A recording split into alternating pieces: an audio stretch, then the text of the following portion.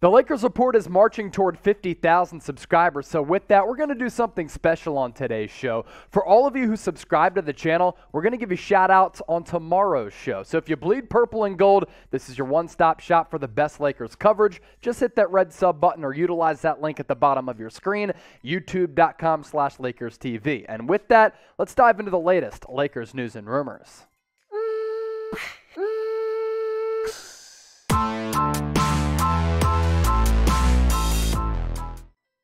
Laker Nation, hope all of your weeks are off to a great start. This is the Lakers Report by Chat Sports. I'm your host, Chase Senior.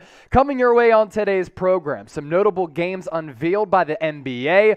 Patrick Beverley. Now, he's with the Utah Jazz right now, but because they figure to rebuild a little bit. Could Beverley get dealt, and does he want to go to the Los Angeles Lakers? We'll explore that. Carmelo Anthony potentially going back to the Denver Nuggets, where, of course, he went prior to the New York Knicks as he started his NBA career there and had a lot of individual success, going all the way back to the days of Allen Iverson rocking that Nuggets uniform. And will LeBron James take a pay cut in 2023, kind of like what James Harden did with the Philadelphia 76ers during NBA free agency over the summer. First up, though, want to break down some of those leak games in the Lakers' schedule for this upcoming season. And of course, the Lakers, even though they were bad last year, they do have some big draws on the schedule, and that remains to be the case. Opening night, going to take on the Golden State Warriors. Now, last year, this game was at the Staples Center, which is now Crypto.com Arena. This year, going to open up in San Francisco. So you're going to have an opportunity to see LeBron James and Anthony Davis against the reigning NBA champions in what has become a very good rivalry in the Western Conference. Another big game. Los Angeles Clippers. So, for the first time in a little while, Kawhi Leonard going to be on the floor for the Clips, and him Paul George, I think the Clippers are going to be a really good basketball team.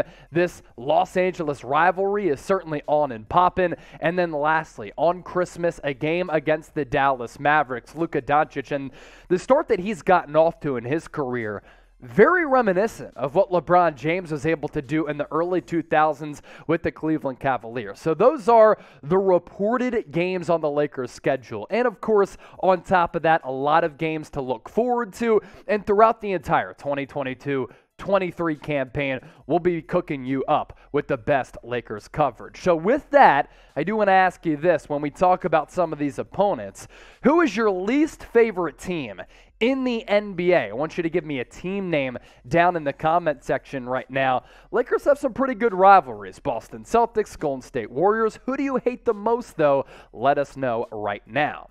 Patrick Beverley sparking some Lakers rumors on Sunday night after this tweet from Shams Charania saying the first Lakers Clippers game of the upcoming season, scheduled for October 20th at Crypto.com Arena. LeBron James, Anthony Davis against Kawhi Leonard and Paul George again for the first time since December 22nd, 2020. And with Patrick Beverley putting up the prayer emoji, kind of goes to show you. Maybe he wants to go on the other side of that rivalry. We know that he used to play for the Clippers. Now, does he want to play for the Los Angeles Lakers? Here's what he had to say back in May on ESPN when he was making a couple of those get up appearances.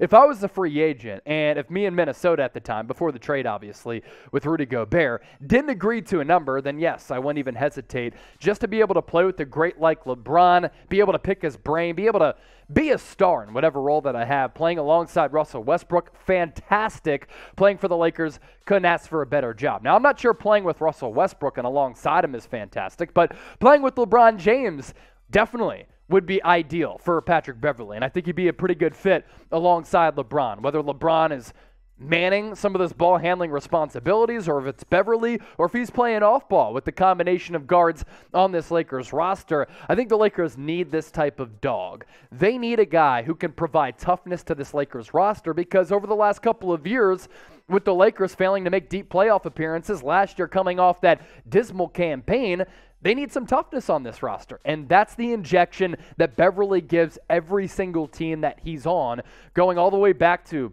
his early NBA career up until the present day. Nine points per game last year with the T Wolves, of course, helped lead them to the playoffs once again. That's another consistent theme for P. Bev. Every team that he's on, really, they end up making it to the playoffs. Really good steal guy, about a block per game, too. Given his size, I think that's really impressive. And the numbers from three last year, down as compared to years previous. But let's just hope that if he goes to the Lakers, he starts knocking down those three pointers at about a 37% clip. Then make, that makes him a much more, more valuable asset offensively for any team that he's on, and if it's the Lakers, obviously for them. So, your level of interest in Patrick Beverley is where on a scale of 1 to 10? 1, don't want him. 10, all in. Let me know once more in the comment section right now. Now it is summertime, and some of these hot summer deals are fantastic. It allows you to save money, and you can save money on these Lakers hats. A bunch of different styles available, whether you like the flat brim or the dad hat style. All you got to do, head to chatsports.com slash Lakers hats for these deals to apply for you. We already ran through a couple of the flat brim new era fitteds. How about this dad hat style? Different colors, different logos, different styles. Some of these hats up to 60% off, but you must use that link at the bottom of your screen so that Fanatics knows that Chat Sports and the Lakers Report sent you. I'll put that link in the comment section and the description of this video. Carmelo Anthony had a pretty solid season for the Lakers last year. Is that the only season, though, that he's going to rock the purple and gold? Could Carmelo go back to Denver, the team that drafted him after that national championship run under Jim Boeheim with the Syracuse Orange? Hoops Wires Sam Amico said the speculation around the NBA is that the Nuggets could have interest in Carmelo. And Melo back to the Mile High City would obviously be a pretty good talking point and a pretty good story. That's where he started his Hall of Fame NBA career before going to the New York Knicks after that trade, and it just didn't work out in Denver. They failed to make deep runs in the playoffs, and that was really the same story once he went to New York City, the mecca at Madison Square Garden. But for him to potentially end his career where it started, it's always a pretty good story. Now, that would spell the end of Melo in Los Angeles, and if he's no longer on this roster, then this is the supporting cast for the purple and gold. And this bench unit, huge question mark. You have the star power, LeBron James, Anthony Davis, and if you want to put Russell Westbrook in that category, you can. I won't because I don't think he's a star player at this point. Solid player, no question. Star, no. But this is the Lakers supporting cast: Austin Reaves, Kendrick Nunn, Lonnie Walker the fourth, Thomas Bryant, Damian Jones, Talen Horton Tucker, Stanley Johnson, Troy Brown Jr.,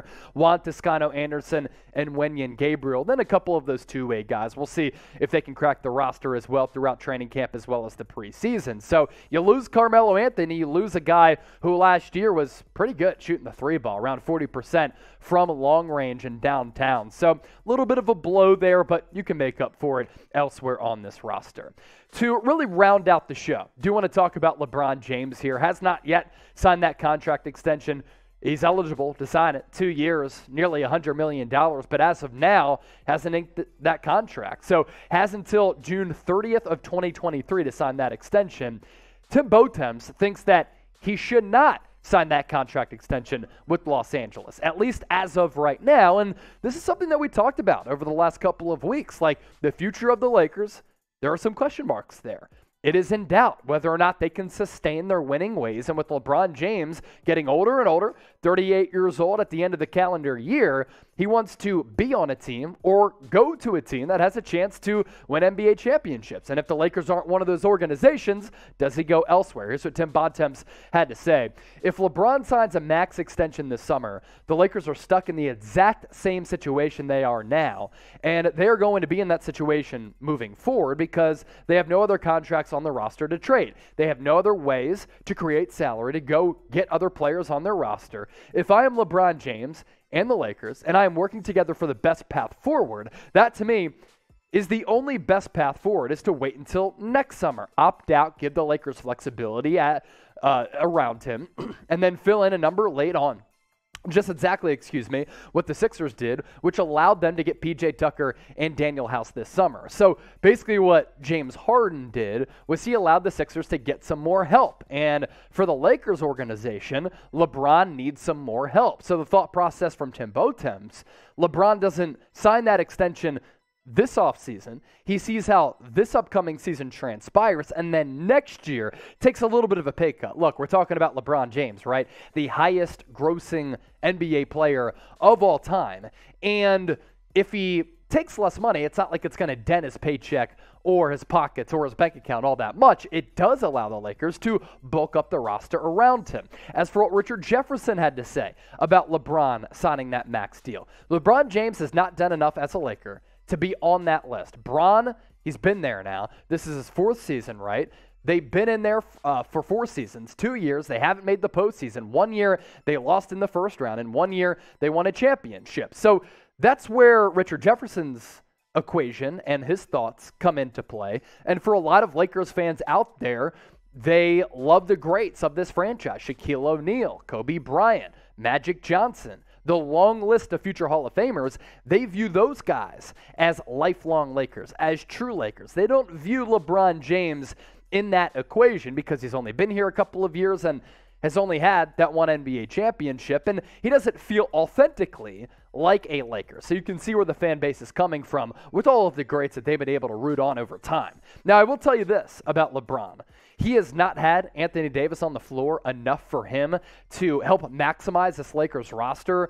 Look, LeBron is going to be 38 years old in December, and there's no question that LeBron would have benefited from having Anthony Davis on the floor more because as the mileage continues to add up and the tread wears on his tires. He just needs some help around him. And last year he didn't have it. The year before that, he tried to do everything that he could to will the Lakers to that first round series against the Phoenix Suns. If they had Anthony Davis, I think that they could have competed for back to back NBA championships. So the health of Anthony Davis is critical for the future of LeBron James and in turn the success that he has and will be remembered for with this organization. So what do you think, Laker Nation? Is LeBron a quote real Laker? Let me know down below in the comment section why for yes and for no. And before we hop on out of here, make sure you subscribe to the channel. Even though it's the slow part of the NBA offseason, we're bringing you the best Lakers coverage. YouTube.com slash Lakers TV or hit that red sub button.